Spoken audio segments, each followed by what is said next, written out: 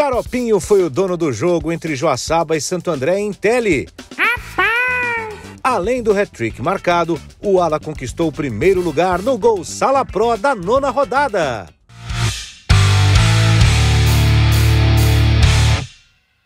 O camisa 7 estava cercado pelos quatro adversários.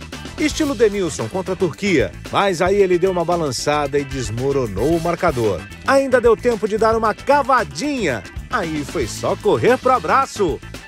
Uma grande noite para Xaropinho, que conquistou o primeiro lugar do gol Sala Pro da LNF.